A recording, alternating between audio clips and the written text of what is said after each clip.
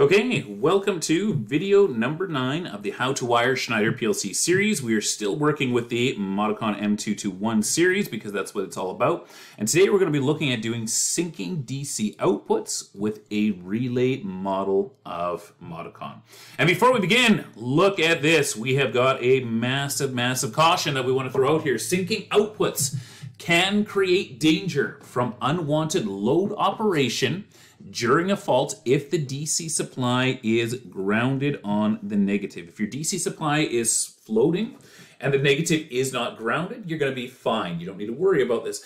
But if it is internally grounded, which some DC power supplies are, or if you've got all the commons of all the different DC power supplies on your site tied together, that means that your negative could be tied back to ground through one of the other ones, and there can be some unwanted operation. Watch video two in this series if you need more information. It's a long video, goes through all the details on sinking and sourcing and the IEC positive and negative logic, and lays out what the danger itself actually is. All right. This video is going to be based around any of your TM221R family of modicons that you're going to go and have. You'll have one or two letters inside of there telling you whether it's going to be cartridge monolithic or cartridge monolithic with Ethernet. You're also going to have two numbers in there telling you the total number of inputs and outputs that you're going to go and have. Whatever the combination is of these does not matter. As long as you're looking at an R-type, this is going to explain how to go and connect it. Just if you have one of the larger, the 24 or the 40s, there's going to be more points to go and connect onto it.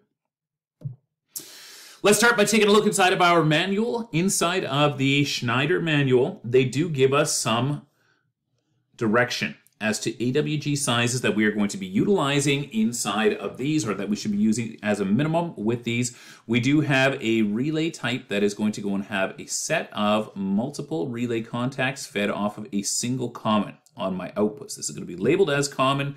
This will be, you know, Q0, Q, oops, sorry, that's a terribly drawn Q. Why don't I erase that?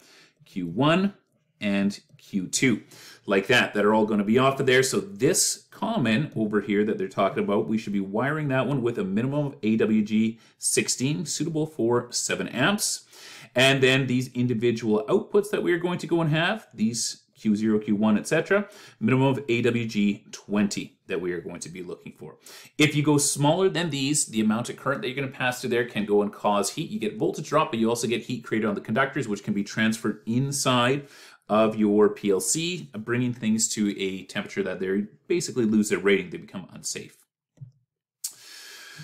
Not only do we have the wiring gauge that we have to look at, we also have to take a look at the actual ratings. Now our rated output voltage is going to be either 24 volts DC or 240 volts AC. The AC rating is always going to go and be way higher because the AC rating relies upon the fact that I am going to be crossing through the zero axis anywhere between 100 to 120 times a second, depending on whether you are 50 or 60 hertz AC, which means that any arcs that are created are going to be much harder to sustain. Easier to break, harder to sustain, in other words, easier on my set of relay contacts. If I'm dealing with DC, I'm limited down to 24 volts that I'm going to go and have. And that's what we're going to be working with inside of this system.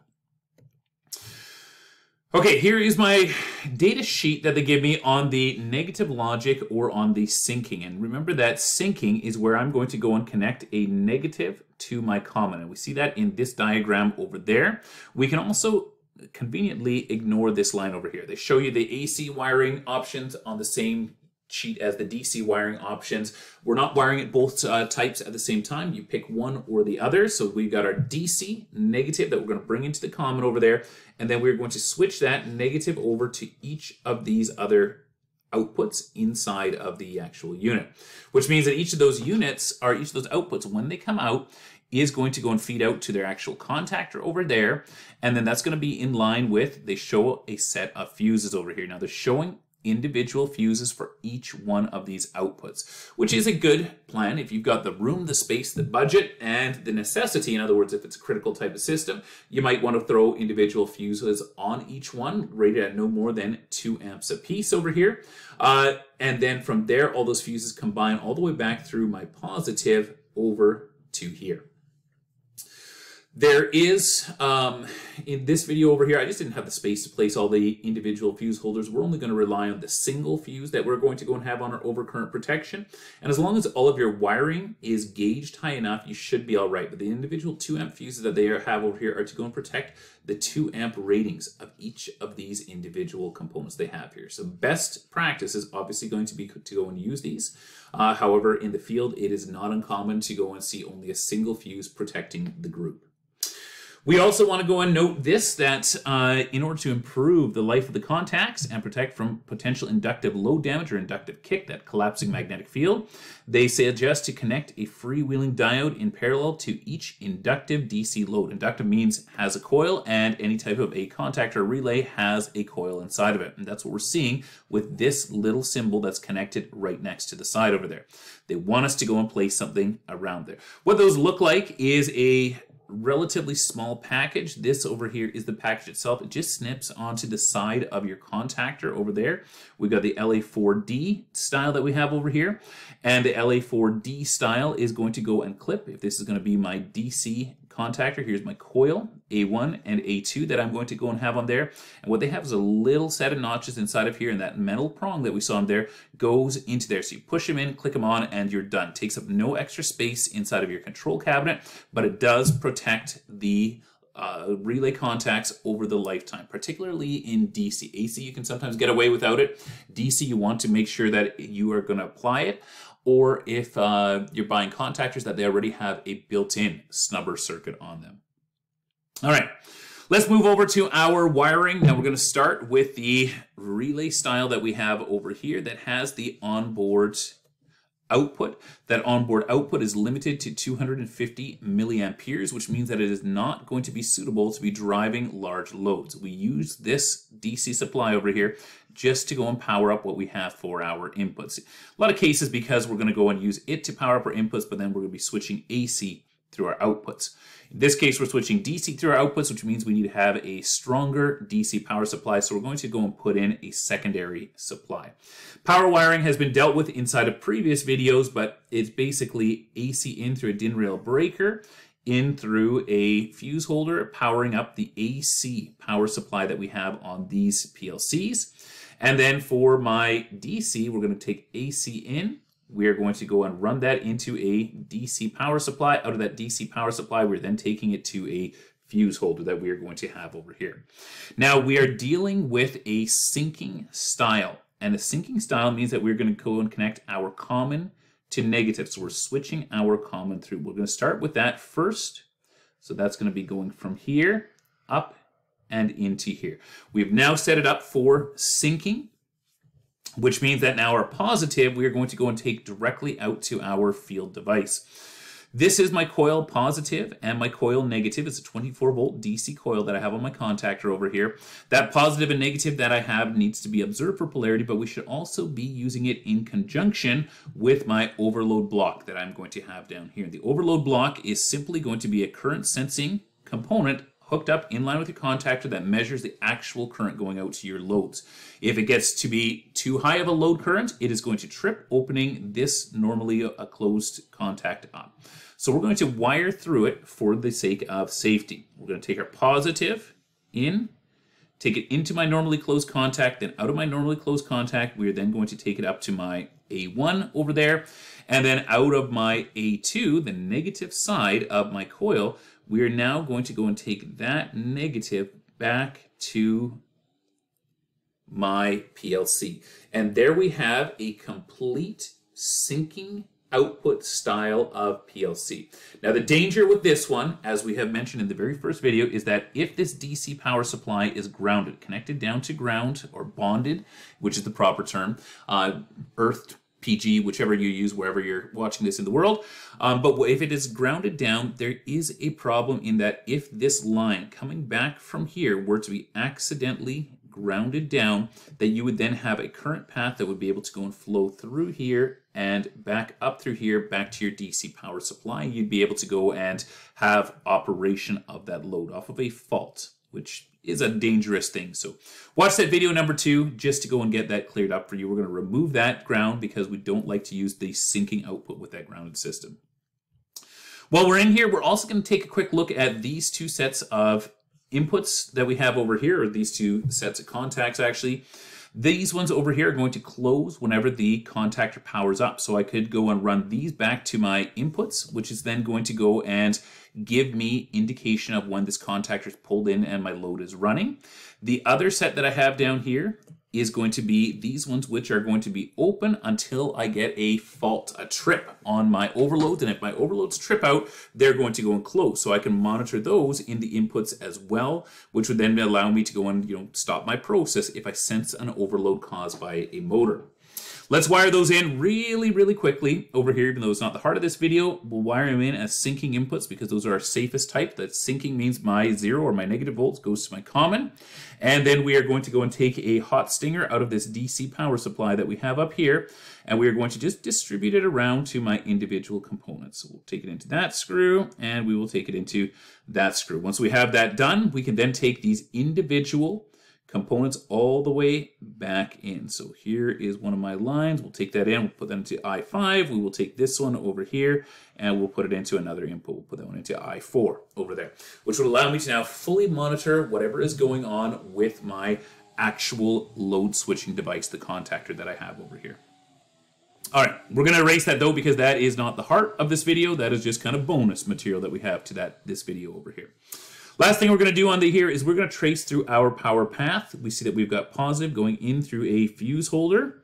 We have got that positive run in through the normally closed overload contact block up to my coil, through my coil, through my negative, coming back then, running through the inside of my PLC, and then coming all the way back up to my negative of my power supply. It is a complete path for current flow. You should be visually tracing this on you know any connection that you make, just that you know that you've got everything set. All right, that covers my cartridge style. This is the cartridge style over here. Let's take a look at the monolithic style. Very similar. The monolithic styler is different than the cartridge style though in that it does have a DC power that is brought to it. it doesn't have that AC. It also doesn't have its own onboard DC. It's just got a couple of comments that are going to be here. So it means that anytime we're using a monolithic style, we automatically already have this DC power supply here to go and power that up. And you can trace that. Here's my DIN rail breaker bringing my AC in. Then I convert to DC, and then my DC power supply, I could follow it through a fuse holder here, powering up this actual PLC. We'll erase all of that. We see that we also have got the positive being carried over to a fuse holder that we are going to go and use for what we're looking at. Now we're working with a sinking style, and a sinking style means that I'm going to go and attach a negative to my common. So I'm going to take a negative from my power supply over there, and I'm going to go and attach it to my common. We'll take it to the common in group two over here of this uh, setup over here. So I'll just circle it with a blue just so you can see which one we're connecting into.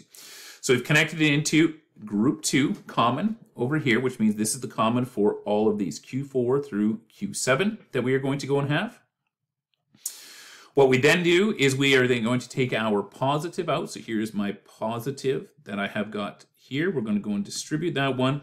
Uh, ultimately, we do want to take it back to the coil over here, the positive the coil A1, the negative the coil, that's going to be my A2, but we do want to take it through those normally closed overload contacts first. So we're going to do that. We'll take it down through the bottom over here into my normally closed.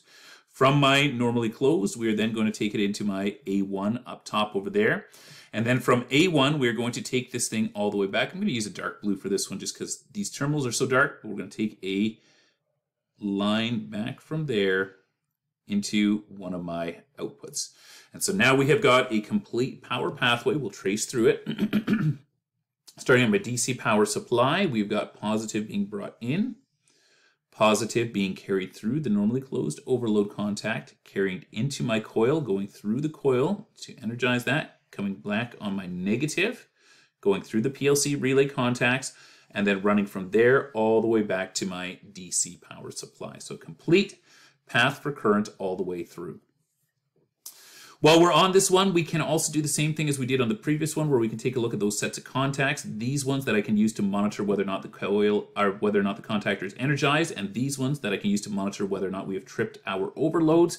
And to go and wire those, all we would need to do is jump another positive around. So we've got our DC positive brought into here, what we can do is we can take that DC positive, we can jump it around to one of my normally open, and then we can jump from there up to one of my other normally open.